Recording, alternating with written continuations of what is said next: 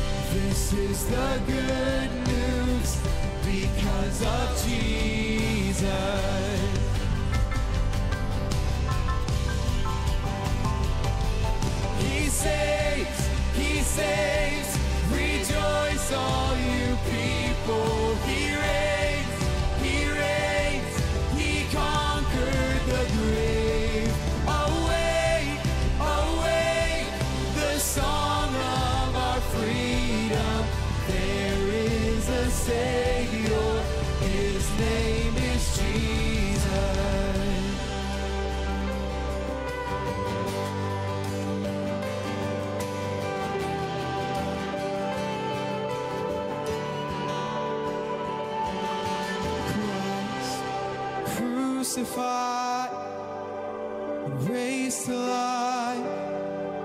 He's coming back again. Christ crucified and raised to life. He's coming back again. Christ crucified,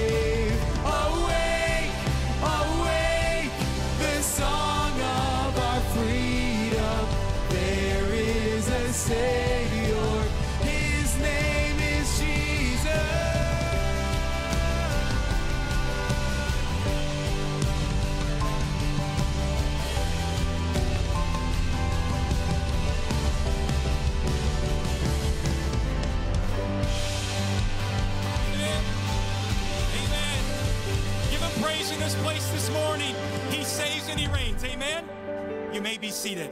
Well, welcome to Calvary Church. We're so glad that you're here this Sunday morning with us, and that you've chosen to take some time out of your busy weekend to join us as we exalt our Savior through worship, and then later we open up to worship through the proclamation of God's Word. We're so glad that you are here today. My name is Kenan Wiley. I'm one of the pastors here on the team at Calvary.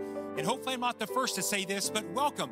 Good morning. And we're so glad that you've chosen to spend some time with us today. We have designed a special area for you today. So if you're a first time guest, maybe you're brand new to Calvary, maybe you've been watching online and you're back in the room with us, we're so glad you're here. But if you're here for the very first time, our team and our staff and volunteers would love to meet you out in our connection hub in the lobby. We've put together a special gift for you just as a small token and way of saying thank you. And we are committed to helping you take your next step on your faith journey here at Calvary. One of the ways that we can worship this morning is through the way of giving. And across our exits as you leave this morning, we do have giving boxes posted. As well, you can worship through giving throughout the week. And you can go to calvary.us slash give to give up your tithes and offerings there. You know, one of the things that we like to foster here are relationships. One of our values is community. And so, right now, I'm going to ask that you stand to your feet. Maybe you didn't have a chance to greet or welcome someone yet. So, let's take the next 60 seconds or so, look out across the room, find a few new friends, and welcome them to Calvary Church today. We'll resume worship in just a moment.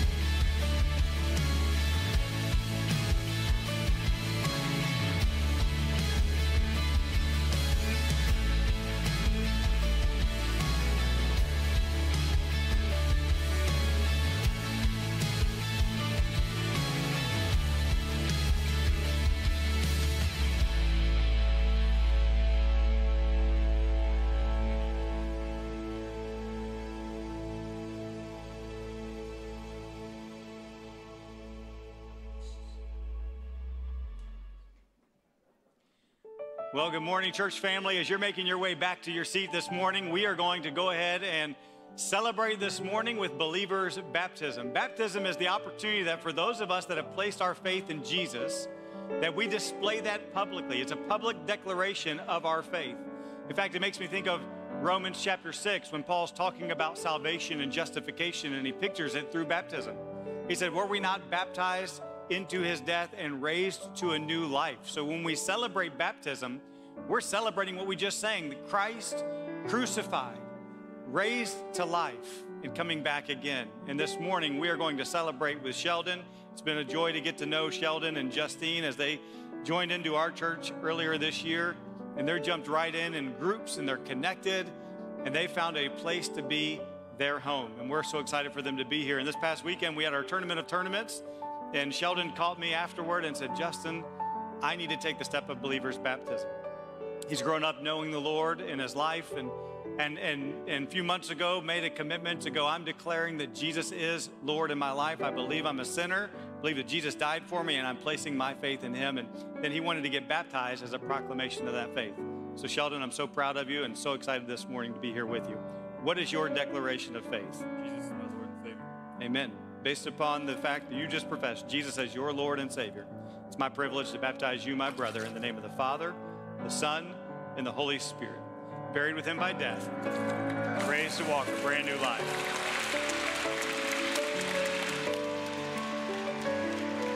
Oh, what a beautiful, beautiful thing that we get to celebrate nearly every weekend here at Calvary. Man, I'm so grateful. Well, let's stand as we continue to sing. We're a church that loves to sing. uh, what we believe. So this morning, let's do this together. We just speak the name of Jesus.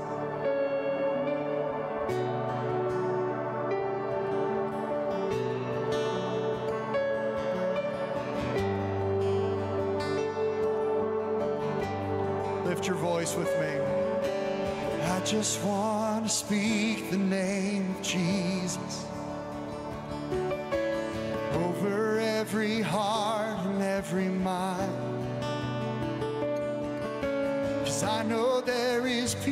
within your presence.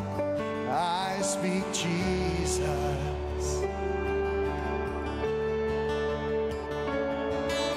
And I just want to speak the name of Jesus. Till every dark addiction starts to break. Declaring there is hope and there is freedom. I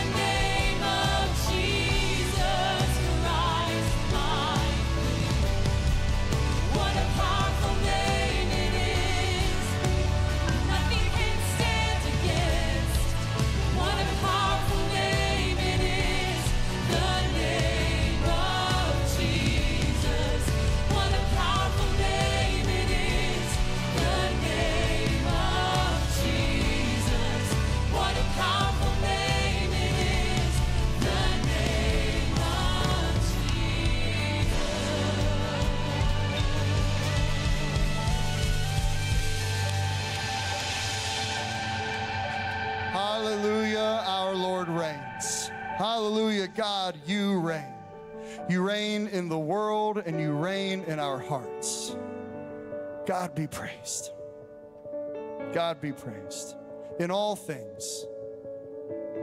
Lord, we ask, we beg that in the darkest reaches of the world and in each of our souls, that you would be the light that shines on all the things that are broken and hidden from others, but not hidden from you, Jesus.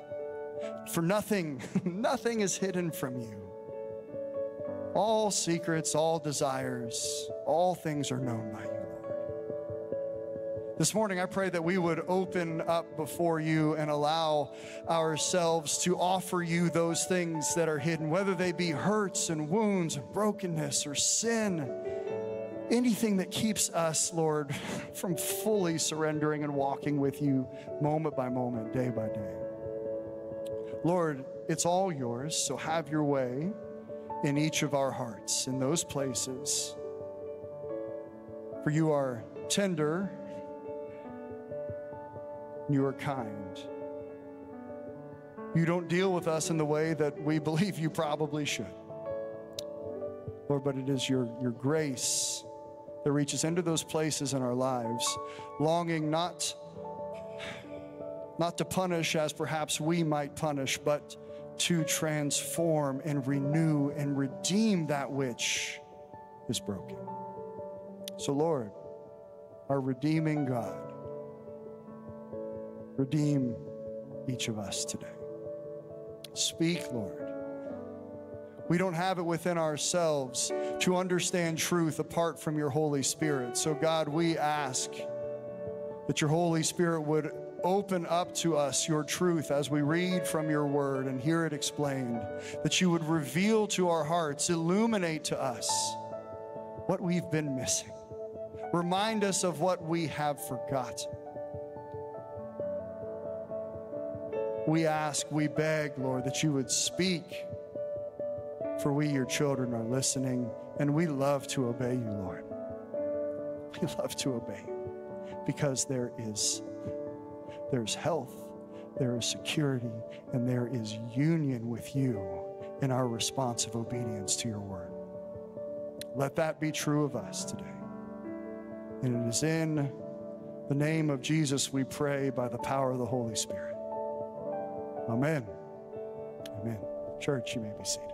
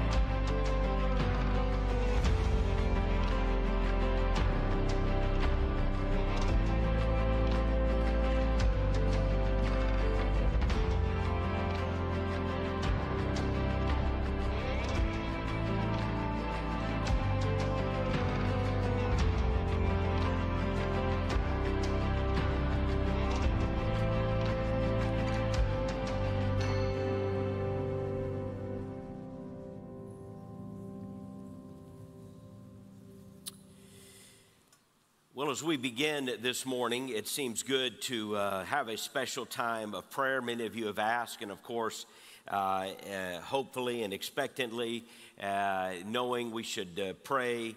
Uh, I know in the last 12 hours or so, many of us have watched on our televisions and uh, on the internet about the uh, bombing uh, in Israel and uh, many speculations and uh, many anxieties. And of course, the Bible commands us to pray for the peace of Jerusalem.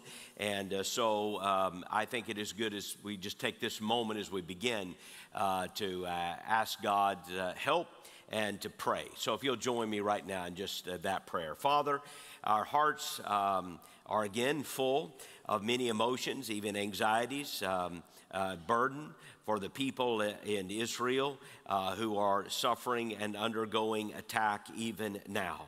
Lord, we know from reading your word that this is a part of a bigger story that has unfolded throughout history and still unfolds and is yet to unfold. But Father, we pray uh, for the nation of Israel. We pray for the peace of Jerusalem. We pray for the leaders of Israel. And uh, we know that there are people suffering in war in Ukraine, in Gaza, in Israel, in all these places. Lord, there is great suffering. And we yearn for the day when the King of Kings and the Prince of Peace, the Lord Jesus Himself, will come and reign, and your kingdom will come on earth as it is in heaven. And we pray for that day. But Lord, in this day of war and turmoil and conflict, we ask for your mercy, we ask for your help, we pray for wisdom. We pray for our leaders that they may have wisdom and do the right thing. And uh, we just pray, Lord, seeking your help, your protection, and your blessing, and asking for your blessing and intervention in the name of Jesus. We pray it. Amen and amen. And I think, in a way, that that gives us a good chance to begin today. You're taking your Bibles, you're turning to John chapter 20, where we have been reading and will be for the next several weeks. John 20 and verse 19 in a moment.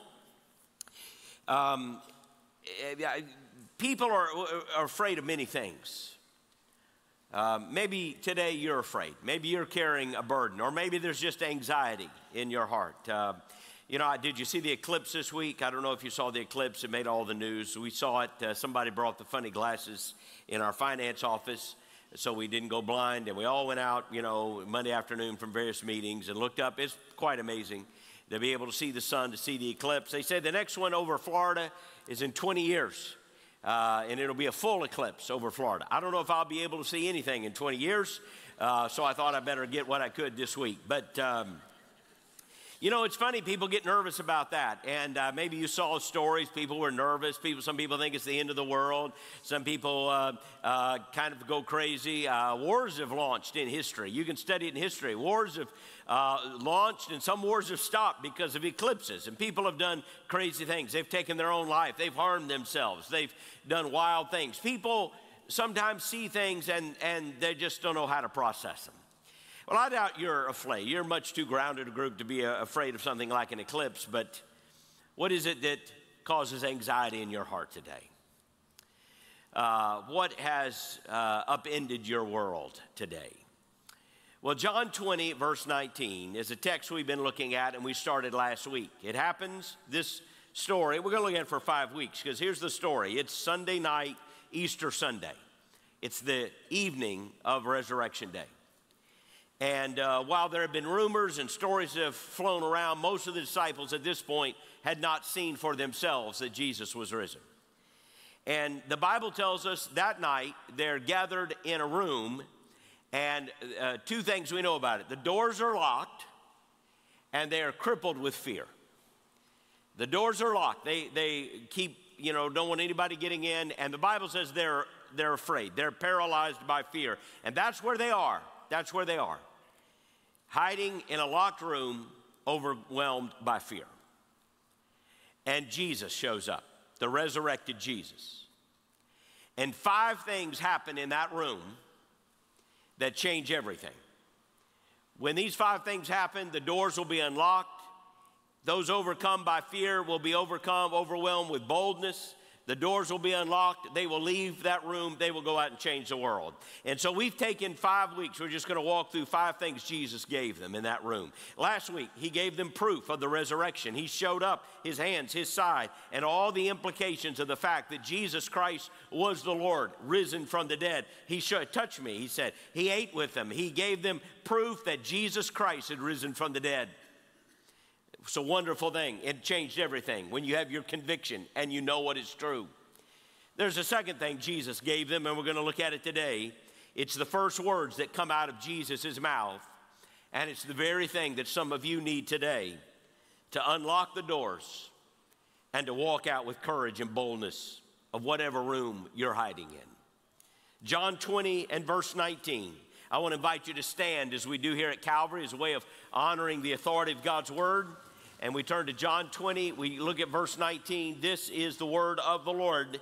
The Bible says, When it was evening, on that first day of the week, the disciples were gathered together with the doors locked because they feared the Jews.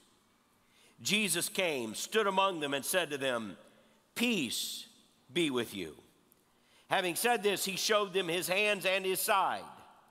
So the disciples rejoiced when they saw the Lord. Jesus said to them again, Peace be with you. As the Father has sent me, I also send you. After saying this, he breathed on them and said, Receive the Holy Spirit. If you forgive the sins of any, they are forgiven them. If you retain the sins of any, they are retained. Father, may we hear the words of Jesus, who stepped into that locked room of troubled followers and spoke words that changed everything. May we hear what they heard, and may we be changed like they were changed, is our prayer in Jesus' name. Amen. And you may be seated.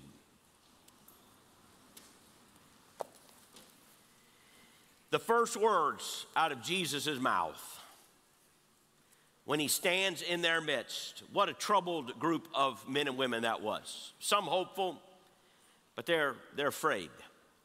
Bible says there, it's used the word, they were afraid of the Jews. That's not anti-Semitic, they were Jews. What it's saying is they were afraid of the Jewish leaders, the Jewish authorities. They saw what could happen. The last few days, they had seen Jesus crucified. They had seen all the things that uh, had just devastated their world. Their world is devastated. They're in the room. The doors are locked. Jesus appears. And this is what he says Peace be with you. In fact, he said it twice. Did you notice that? Verse 19, it's the first words out of his mouth Peace be with you. He says it again in verse 21 Peace be with you. It's the first words out of the mouth of the resurrected Jesus. Peace. Peace. Now, on one hand, you may think, well, that's a typical greeting. Jewish people would often greet one another by saying, peace be with you. And so some think, well, maybe Jesus is just showing up and say, hey, how you doing? Nice day. But, you know, there's more than that. This isn't just a casual greeting. These words matter. In fact, Jesus said it twice as if they couldn't quite believe what they were seeing and hearing. And so he said it again Peace be with you. Twice. Luke records the exact same thing. The first words Jesus spoke, he gave them peace peace is a powerful greeting. And what does it mean when Jesus spoke peace? What is peace? It's an important question because if you try to look at it in Webster's dictionary or something, the, the, definition will be somewhat unsatisfying. You know, what is peace? The absence of war, the cessation of hostilities. But that's not really what peace is. Peace is not the absence of a thing, peace is the presence of a thing. It's not about something you don't have, it's about something you do have. If you were wishing someone peace, as like again, a typical Jewish greeting would be shalom, peace be with you. If you what, what do you think they're saying? I hope you don't get in a fight today? Is that what they're saying? Peace be with you. I hope you don't get in a fight. That's not what they're saying. Like, obviously, it'd be nice not to get in a fight today, but they're saying we, are praying something for you. Peace is kind of a, and again, lots of definitions, none of them do it justice. Peace is a sense of well being, isn't it? It's a kind of inner contentedness. And again, that, no, that doesn't quite do it justice, but it's a something on the inside that you have. It's not just saying you're not in a fight, it's something you've got. And Jesus showed up and Jesus spoke peace to them. What is peace? I think about it sometimes. Peace, sometimes people look at the past and they say, I have peace with it. I'm at peace with it. What do they mean? How can you look at your past and say, I'm at peace? It usually means, number one, you're grateful when you look at the past. You're grateful for all the blessings of God. So when you look at the past, you just don't see the tragedy. You just don't see the brokenness. You see the blessings. You don't just see the tragedy. You see all the things that God has done for you. And so you look back and you're, you're grateful. But it also seems that you've come to accept it like I've given it to the Lord. I, I, don't understand it. I don't even like all of it. There are things in my past I wish weren't there, but I can, I, you know, if you've ever talked to somebody who's hey, I, I, I'm at peace with it. What do they mean? I, I look back with acceptance and with gratitude. What about when you look at the present? Someone's saying, sometimes we say, I'm at peace right now. And by the way, again, I can prove that peace isn't the absence of something. I mean, somebody could be, right now, they could have all the money in the world. They, nobody could, uh, is after their life. They have the finest security money can buy, surrounded by people with guns, and they might be in their living room of their mansion going, I have no peace. And you can have somebody's living in a war zone. They don't know if they're going to live to the end of the week, and they, they might tell you, you know what, I've got the peace of God. See, it's something you have, it's not something you don't have. And there are people, what does it mean when you look at the present and you say, I am at peace? It means, again, you're grateful for what God has done. You see your blessings, but it, it's a sense of contentedness. It's a sense of somebody saying, I have everything I need to be happy. I have it, even though I don't have everything maybe I want, I'm at peace. It's a beautiful thing to be able to say, God, I'm at peace. Some of you can't say that today. I understand that. Yeah, you, when somebody looks at the future, sometimes they say, "Yeah, I know, I don't. What's going to happen?" I mean, people are anxious right now.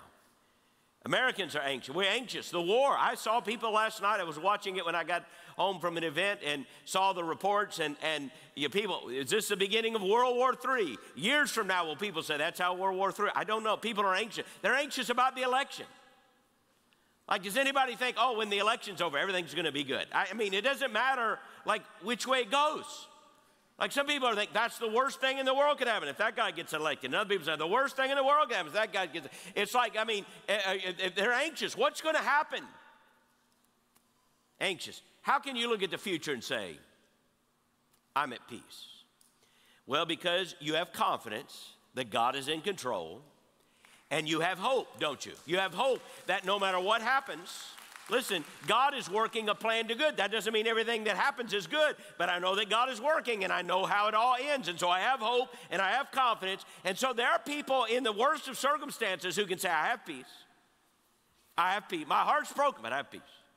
Like I'm troubled, but I have peace. Like I look at the past, I look at the present, I look at the future. I have peace. I have peace. Jesus stepped into a room of people who were troubled in a world that was troubled, and they were surrounded by trouble, and Jesus spoke peace. And let me tell you that Jesus was not saying everything is going to be, he wasn't saying, look, uh, you're going to have peace. Like when we talk about peace, like if, if you said, uh, uh, hey, I'm going on a, a cruise, Pastor, I'm going on a vacation, I said, what do you want? I want some peace and quiet. Amen. Anybody would like that? You'd like that, wouldn't you? There's some moms here of some uh, young uh, children, and you know, they sometimes they get away for a day or something. You say, hey, what are you looking for? Peace and quiet. I know it. Nothing wrong with that. You know what they're saying? They're saying, look, I'm hoping for a day without trouble. Like, isn't that what you want? I, I, just like a day of peace and quiet. Like, I don't want any knuckleheads bothering me. I'm not going to read any emails. Please don't bother me. No diapers to change. No problems. No criticism, just peace. That's what you mean. Is that what Jesus is promising here? Now, it's a great way to have an afternoon. We all need a peaceful day once in a while. But is that what Jesus was saying? Think about it. These guys were in the midst of turmoil, trouble, and think about who Jesus was talking to. Most of them would die violent deaths, by the way. Peter would be crucified upside down. Andrew was probably crucified. Thomas was others run through with a sword. All but John died violent deaths. So what do you think Jesus was saying to them when he said, "Peace be with you"? Like, hey guys, it's going to be easy peasy from here on out.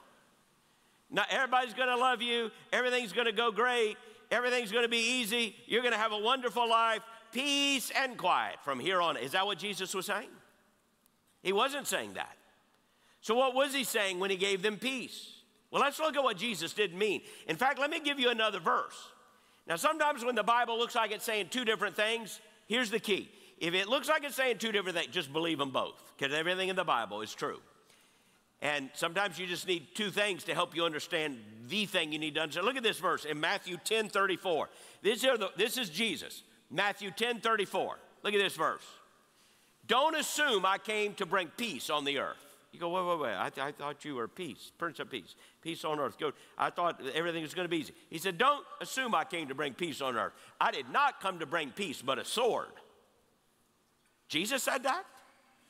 You can look it up. I'm not making it up. I just, I don't make this up. I just tell you what he said. Now, you read the context. Here's what he's saying. You can hold, I don't have time to read the whole chapter there, but the context is Jesus is saying, I have come, and uh, the truth that I bring you is going to force a choice. It's going to turn some fathers against their sons, and some mothers against their daughters, and some family members against one another. And uh, what he's saying is, look, uh, I've come, but people are going to have to make a choice about Jesus. It's going to cause some conflicts. It's going to cause some problems. And if you want to follow me, you're going to have to be willing to leave everything and you're going to have to come and follow me. Jesus was saying, I didn't come to make your life easy. Like, I didn't come easy. So here's what we need to understand Jesus was not promising peace with the world, he was offering us peace in the world. And there is a difference between peace with the world, everything's going to be nice, and peace in the world. See, the disciples were in the midst of turmoil and they were facing turmoil, and yet Jesus walked into that room of people who were crippled with grief and fear and said, Peace I give you. That's what he offered them peace. And that's what Jesus offers us. Not a life that is easy, not peace and quiet, not a life without controversy or chaos. Jesus said, In this world you will have trouble. He said, They hated me, they'll hate you. There's a difference between peace with the world and peace in the world. Jesus promised one, but not the other. You remember the story in Mark 4? There's a story in Jesus' ministry. You find it in Mark 4 where the, Jesus and the disciples are in a boat. They're sailing across the Sea of Galilee. A huge storm comes up and they're frightened. They think they're going to drown. And Jesus is sleeping in the boat. They have to wake Jesus up. He stands up, he says, Peace be still. And with his words, the winds and the waves calm immediately and they were amazed like who is this? He can calm the wind and the waves. Now maybe you read that story and here's what you draw away from it. Some of you do. This is it. Jesus promised i'm never going to have any wind i'm not going to have any waves. Is that what he's promising he let the disciples go into the storm. Like could he have not told them the day before hey there's a big storm coming. Bad weather don't get in the boat he let them get in the boat. He let them go into the storm. And then he showed them his power so that they would know, even in the storms of life, there is one who can bring peace. Jesus brings peace. He didn't promise us a life without storms. He promises us his presence in the middle of the storm and the peace that only his presence can bring. The point of Jesus' offer of peace in that room in Jerusalem on that Easter evening was that even though their lives had been devastated, even though they were facing extraordinary opposition, even though their futures looked bleak and uncertain, and even though there is no peace in the world, Jesus' resurrection means that they can know peace in the world, even if there's no peace with the world. I don't know what storm you're facing, but I know what the resurrection of Jesus means. It means you can have peace right now. Let me tell you two ways Jesus gives us peace, promises us peace. Both of these in the Bible. Doesn't promise us peace with the world, but in the world we can have peace. And here, here's the two kinds. Number one, you can have peace with God. Peace with God. No, you don't want peace with the world, you want peace with God. And Jesus is the only one who can bring peace with God. Let me show you this verse. It's in Romans chapter 5, verse 1. It tells us how to have peace with God. It's right there. Peace with God. You want to know how to have peace with God? Right here it is. Therefore, now that means he's been talking about something and he had been building this case, but this is the conclusion. Therefore, since we have been justified by faith, we have peace with God through our Lord Jesus Christ. How do you have peace with God? Look at keep the verse right there. How do you have peace with God? Well, it comes through Jesus, but how do you have it? We've been justified by faith. Three words justified by faith. How do you have peace with God? We are justified by faith. It says, it doesn't say you have peace with God when everything's going great. You have peace with God because you go to church. You have peace with God just because uh, uh, you've done something good. No, it says we're justified by faith. Now, we've talked about this before, but it bears repeating. Justified is a legal term. Think of justice, just, justice, the hall of justice people who work in the justice system. Just. It means to be right, it means to do the right thing. So someone is justified if they have been found to do the right thing. Like, then they're justified. Like, if you look at somebody that's been accused and you go, hey, wait a second, uh, it's not just that they're not guilty. That's what, in our system, you can get out of jail if you're not guilty. But that doesn't, by the way, mean you're innocent. That just means they didn't find you guilty. But justified means you look at all the evidence. And not only is a person not guilty, you look at them and go, oh, no, no, they're justified. They did everything they were supposed to do. They didn't just avoid doing something wrong, they, they're perfectly just. Boom, justified. Now, that's how you have peace with God. You have to be justified. By the way, it's past tense. It means God's already declared it. God already knows it. So justified. So all you have to do is be justified. You say, oh, great, that's easy. Oh, no, no, that's, that's terrible news. Because none of us would be justified. Like if it's up to us, nobody's just. Like, you think you're going to stand before God one day? He knows everything you've thought. He knows everything you've done. He knows everything. And He's going to look at your life and say, 1,000, batted a 1,000, perfectly just. Anybody here like that? Well, if you're, you're lying if you think you are, you're wrong. You're right. Nobody's here like that because the Bible says there's none righteous, not even one. Nobody's just. Uh, I, have used this illustration before, but I remember in the 1990s when President Clinton was the president. Some of you are old enough to remember that, and uh, and uh, some of you study it in history books. But in the 1990s, there was a big scandal. He was impeached because he had done something immoral, and some folks thought it was illegal. It was a big deal. And so they hired a special prosecutor, and they do this today still, you know. And, uh, and, and so the prosecutor, they had all these army of lawyers. And um, I'm not, I mean, I'm not defending the president. I'm just telling you what happened. I, I mean, uh, they hired an army of lawyers. They do the investigation, everything. They talk to witnesses. They have a virtually unlimited budget. They go, they're smart people. They go after you. And when it was over, they wrote a book called The Starr Report, named after the prosecutor. I bought it. I, I think I still have it. I don't know. Maybe I sold it in garage sale. I, I needed to check. But you don't want to read it. It's R rated. They wrote a, you know, it, it, it, it's like R rated stuff written by lawyers. So it's a weird thing. And, and, um, but it was, it was a big, thick book. And, and it's written and uh, about everything he did. And again, I'm not defending what the president, what the president did was awful, and you know that's a long time ago. But they wrote it in there, put it in the book, and I did think this. I thought, wow, what if what if somebody wrote a book on me?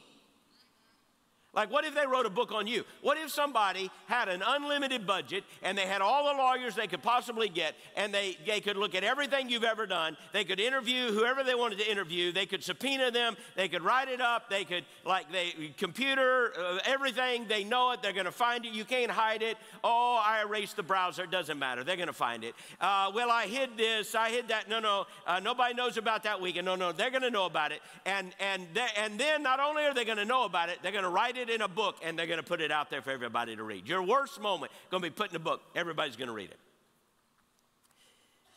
You say, well, whew, I'm glad that's not uh, uh, happened. Wait a second. You're going to stand before God one day who knows everything. Everything. He knows what's in your heart and mind that never came out of your heart and mind. Can you imagine that? I mean, I'm glad a lot of the stuff in here and here never came out.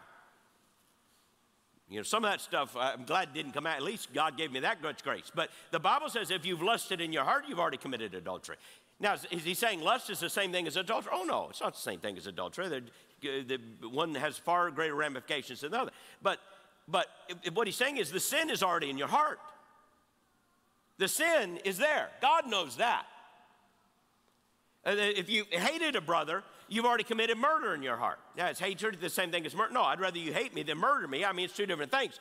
But what he's saying is the sin's already in your heart. It, it, if you could look into the heart, the nasty stuff is still there. God can look at it all. He could write it in a book.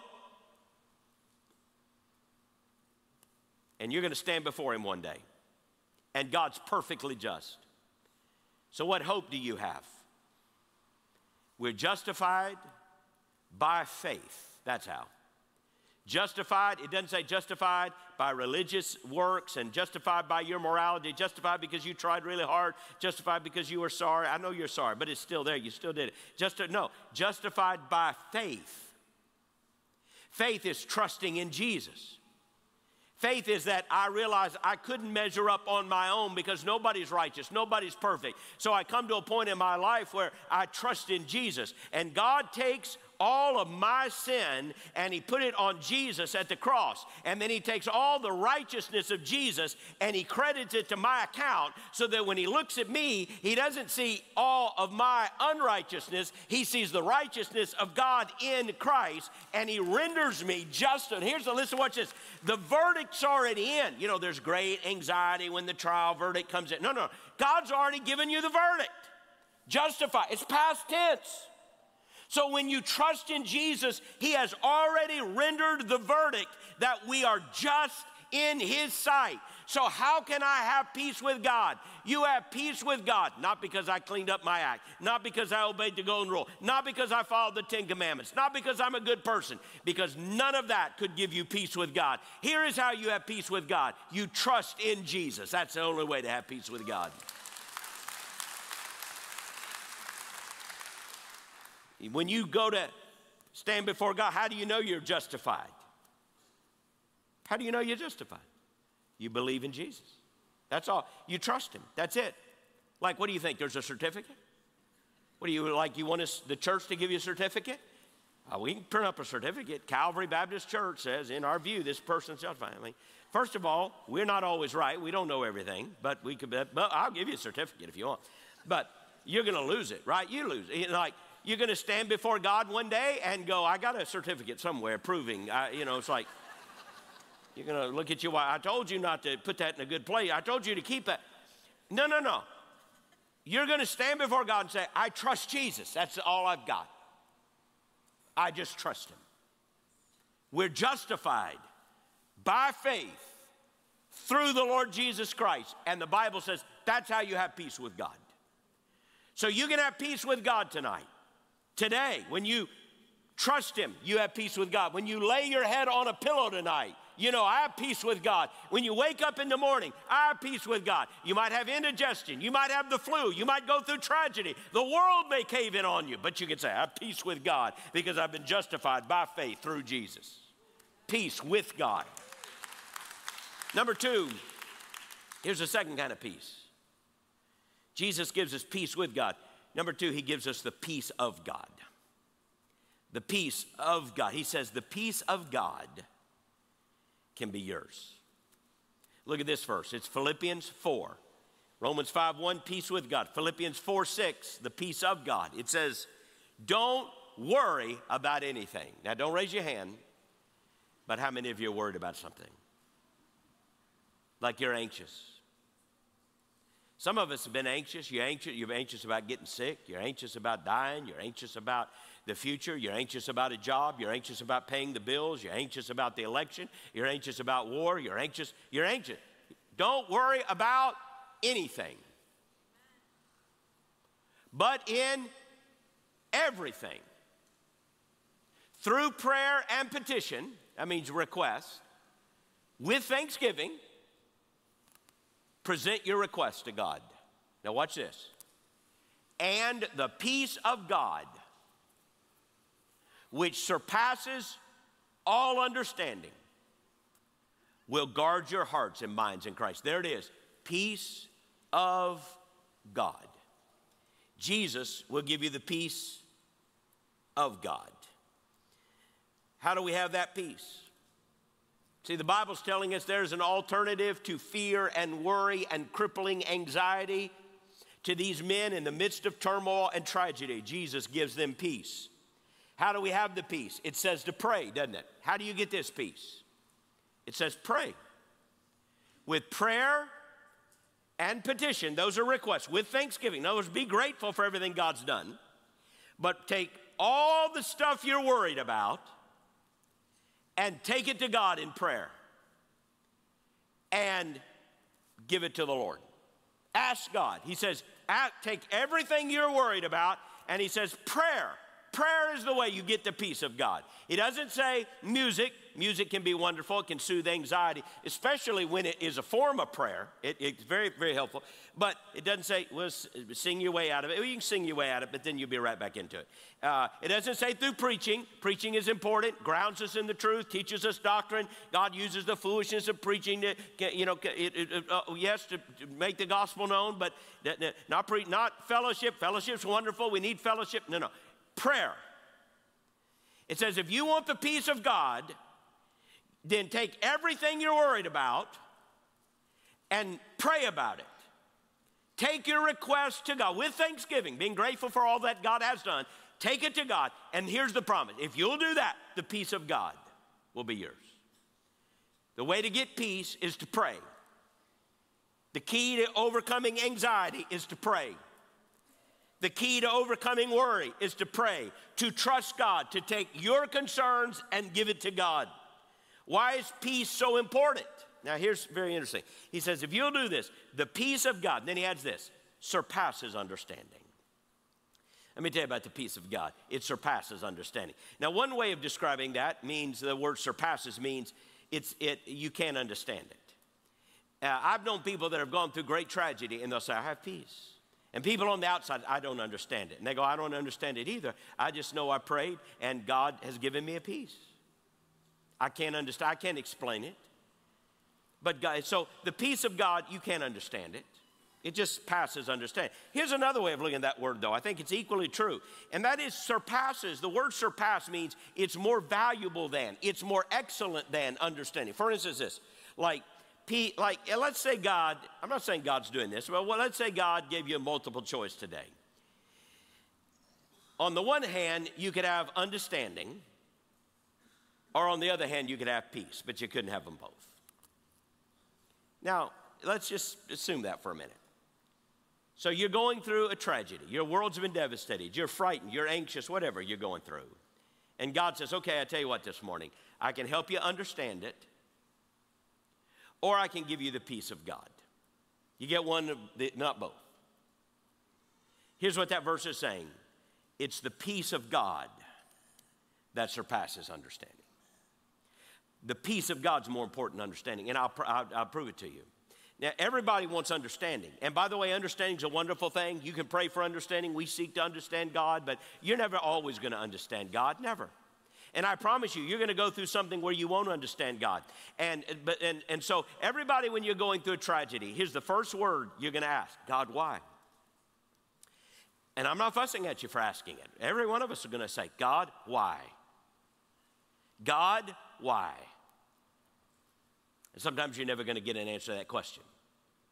Let's suppose God said, okay, I'll give you an answer to the question. You want to know why? Okay, sit down. I'm going to help you with it.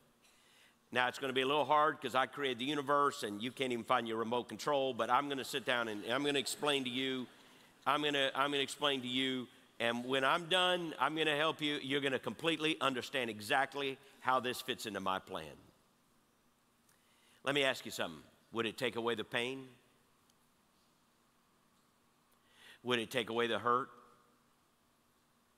The empty chair's still there. If God explained it to you, is that going to solve anything? It may, I know it's what you think you want. Let me tell you what you need. You don't need understanding. And there's some things, let me just be honest with you. There's some things you will never understand.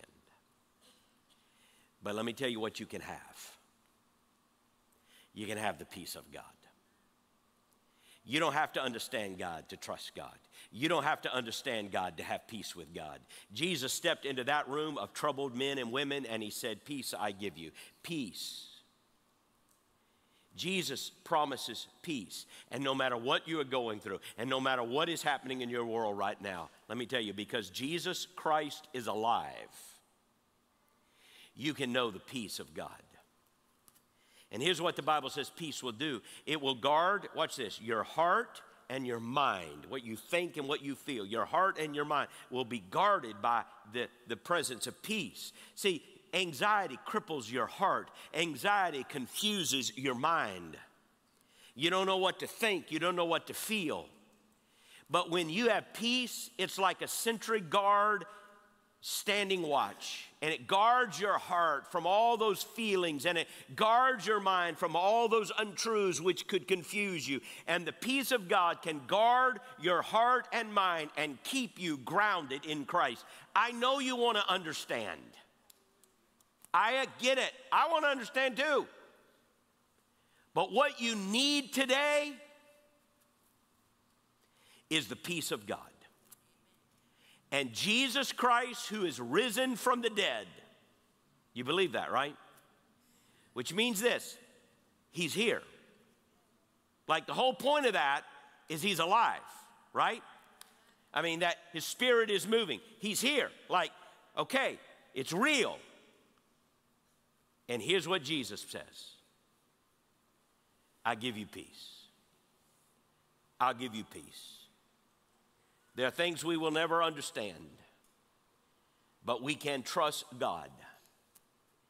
When Jesus is alive, we can have peace with God. And because Jesus is alive, we can have the peace of God. In this world, you are going to have trouble.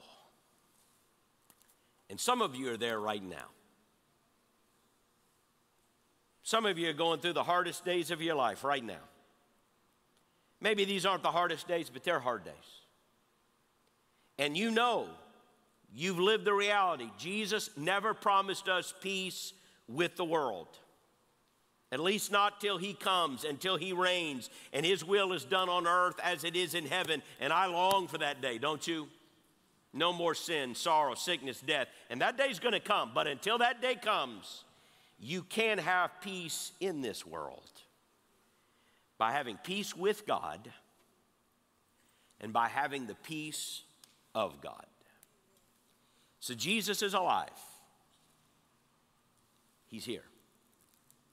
And here's what he says To every troubled heart in this room, to every anxious person in this room, peace I give you. Peace I live with you. And if you can have the peace of God in the midst of the storm, in the midst of this world, if you can have the peace of God, then the door will get unlocked, the fears will dissipate, and the future that God has for you will be realized. But you must have peace with God, and you must be filled with the peace of God. Now, I want you to pray. Every head's bowed, every eye's closed. Just want you to pray right now. First thing I, I want to say is this um, I wonder if you need to know that you have peace with God. Do you know that? Like, do you know you have peace with God? And you don't have peace with God, again, because you, you did something, you checked off a box, you went to church, whatever. No, no, you have peace with God by faith in Jesus. That's the only way you can be justified. You say, well, I've cleaned up my act. Yeah, but you still made mistakes. And by the way, you clean it up. I promise you, deep down there in the crevices of your heart, we need the mercy of God. We need the power of God. So there's only one way, and it's to be justified by faith. And if you're here today and you've never been justified by faith, you've never had peace with God that comes through faith in Jesus, you thought you had to be good enough, you thought you had to go to church, you thought you had to try. No, no. You have to believe in Jesus to be saved, to trust Him. And if that's what you want to do this morning, then why don't you tell God that right now? Why don't you just tell Him? Say, Dear God, I need peace in my heart. I need peace with you.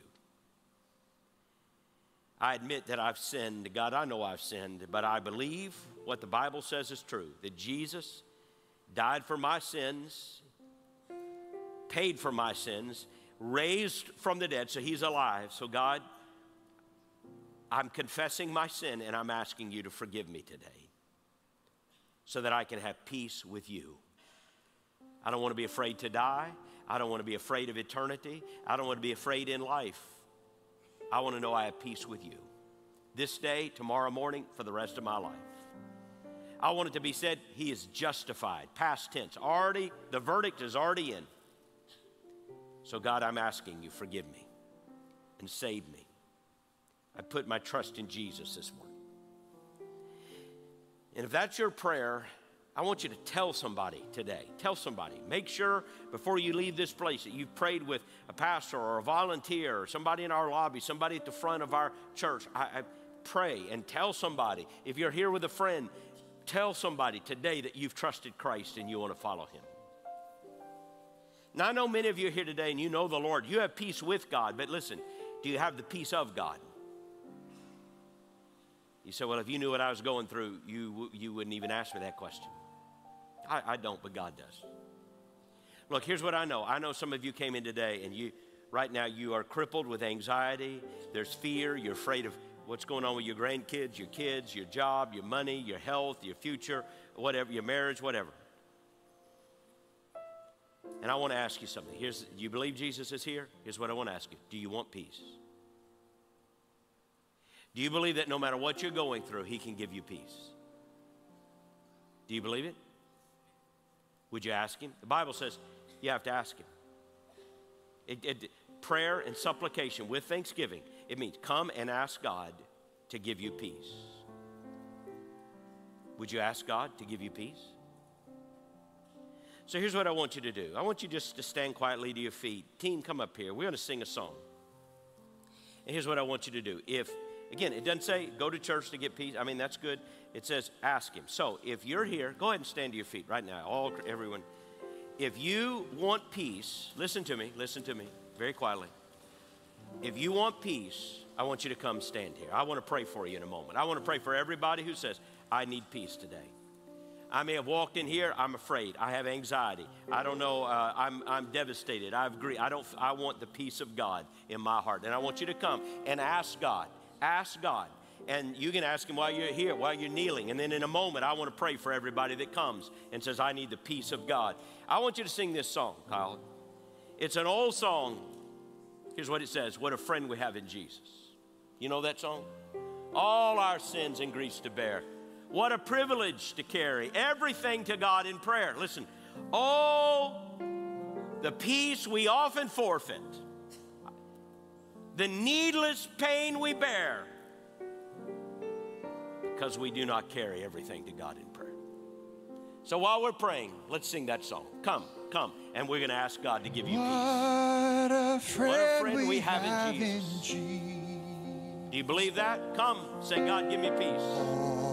Do you need peace? I wanna pray for you.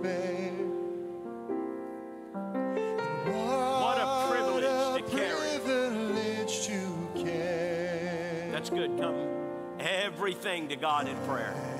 Everything to God in prayer. Oh, the peace Oh, what peace we, we often forfeit. forfeit. Oh, the needless pain we bear. Oh, what needless pain we bear. All because we do not care. Oh,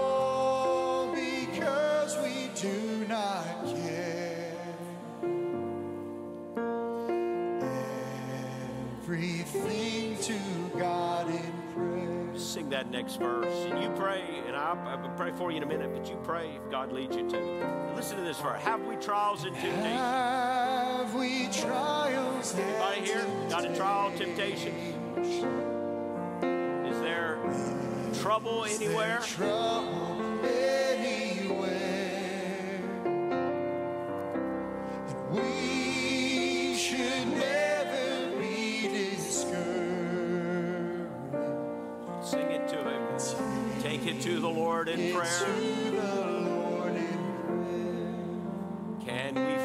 friend so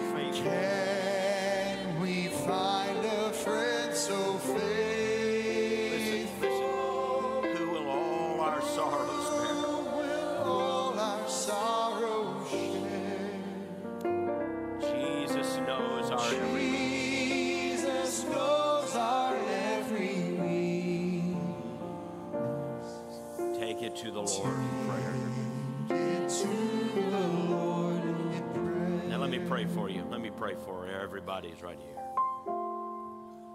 Just tell God right where you are. You, if you want to do it out loud, you can. If you want to do it in your heart, you can. Whatever. But tell God right now what is troubling you. Tell Him what you're anxious about. Name it. God, I'm afraid. I'm anxious. I'm troubled. Just tell Him.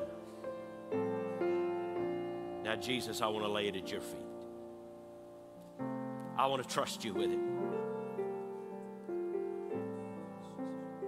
Just tell him. Oh, Jesus, I pray for these precious men and women, young people who are here. There's so much trial and temptation. There's trouble everywhere. There's trouble everywhere.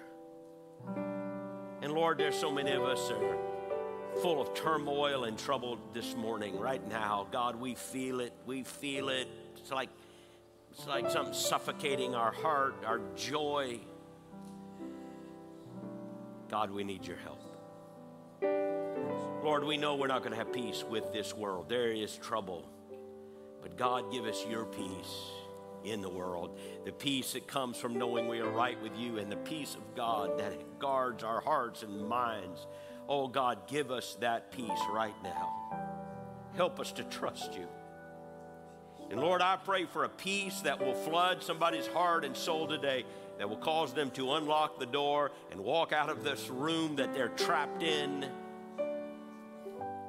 and follow you and obey you. And people will say, How are you going through it? We'll say, I have the peace of God. I have the peace of God. Is there trouble? Yes, but I have the peace of God. God's given me peace. Lord, give us peace.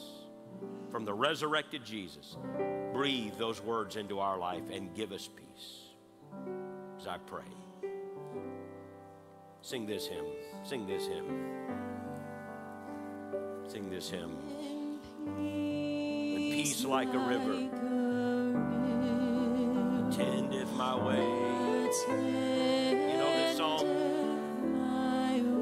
When sorrows like sea billows roll.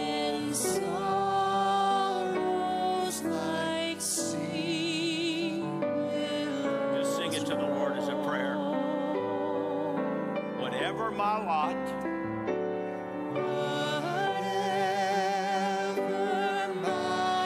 thou hast taught me to say.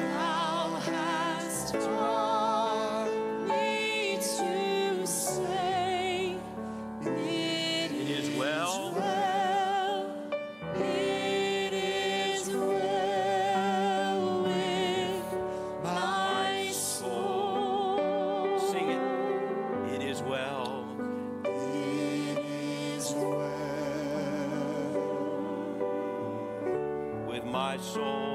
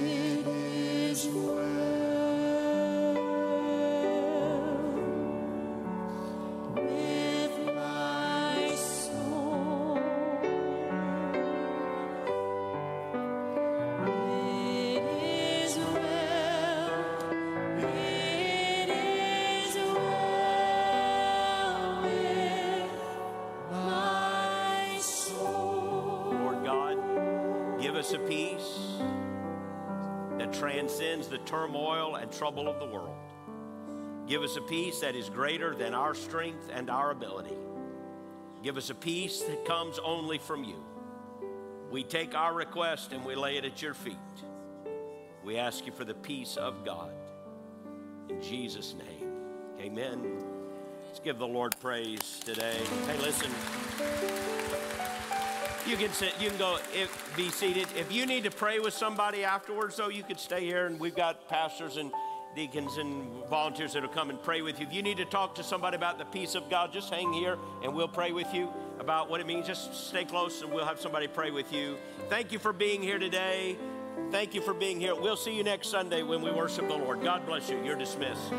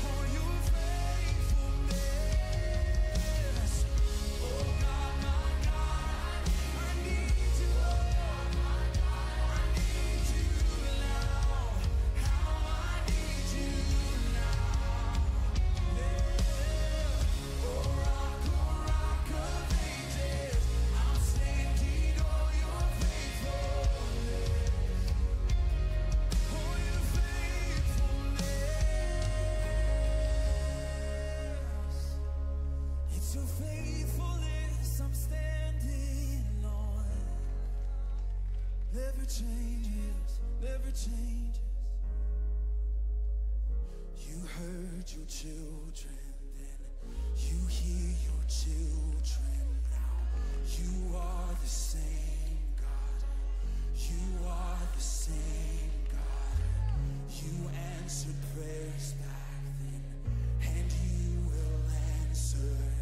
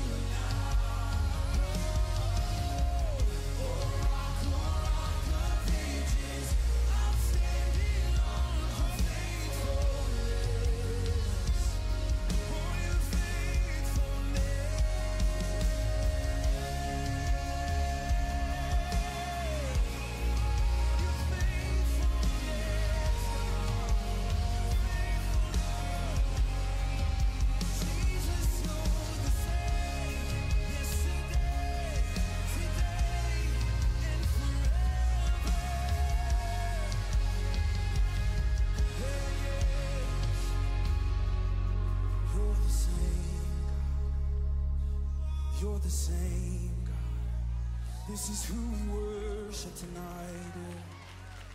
He's the same. He's the same. Oh God. How I need you.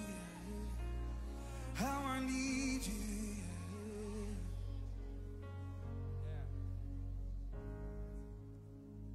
You free the captives. You're freeing hearts right.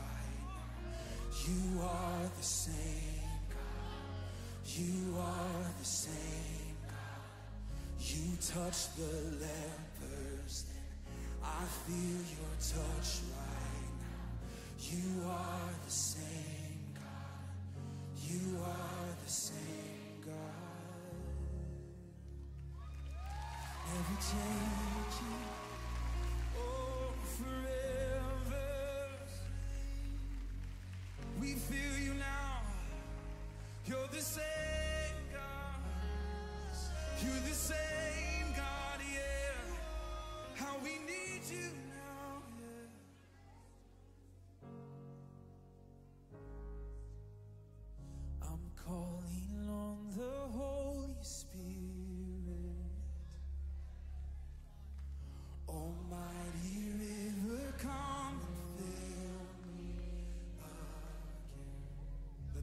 Prayer tonight. Come and fill me. Come and fill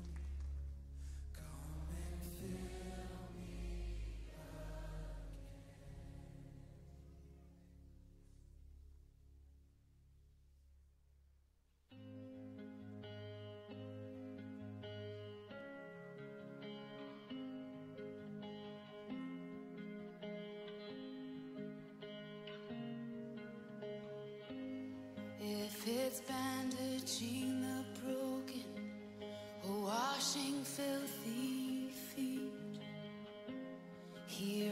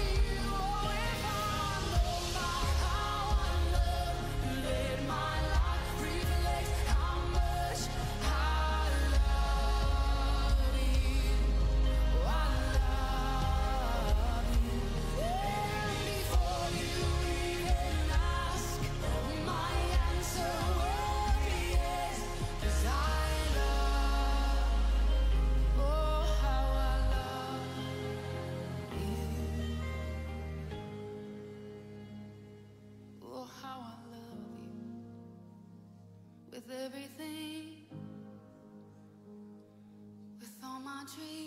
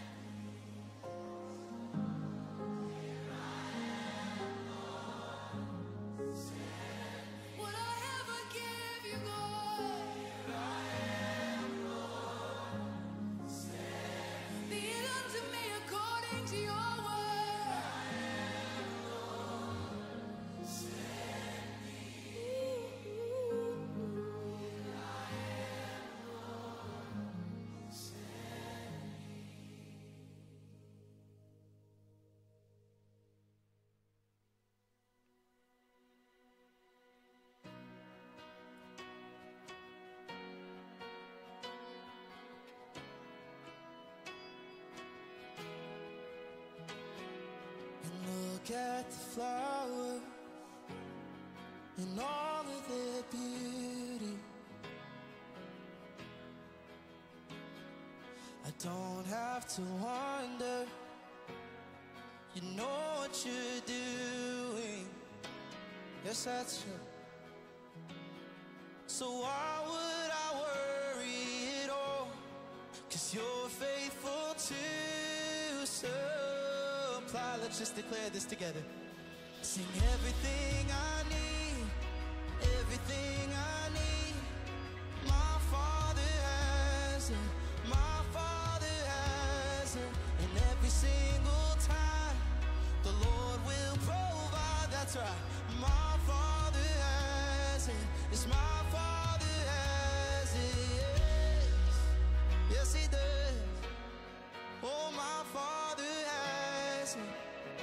I trust